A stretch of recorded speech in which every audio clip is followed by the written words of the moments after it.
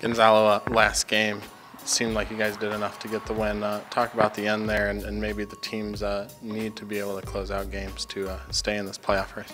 Yeah, I mean it's frustrating. Like you said, we were very close. Three important points that uh, we let, let slip by.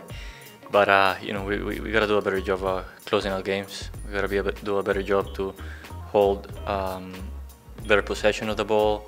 We got to do a better job on stepping up the lines higher so we don't drop and let the team uh, have the momentum and pinch us in our back. So if we do uh, a better job with that, we should be able um, to, to support the pressure and at the same time to, to get the ball in, in better position, not just in our own back, but um, the ball a little bit higher, and we're, we're going to be able to, to create more chances. Which, you know, that's that's what we're struggling a little bit. We're dropping so much and letting uh, teams get momentum at, and coming at us.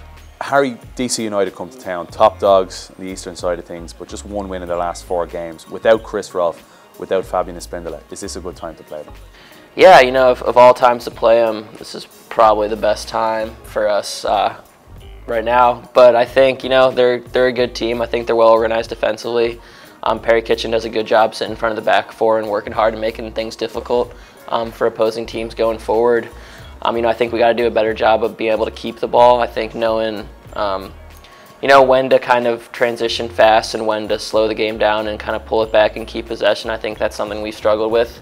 And I think, you know, if, if we do go 100 miles an hour every time like we've been doing, I think DC United's going to do well just keeping the ball and, uh, you know, making it difficult for us defensively. Um, but all in all, I think, you know, it's it's a pretty good time to play them. And, you know, we, we tied them out in DC when we played them earlier this year, but I think we did a pretty good job in terms of, you know, um, keeping the ball in their attacking half, which is something we haven't really done every game this year.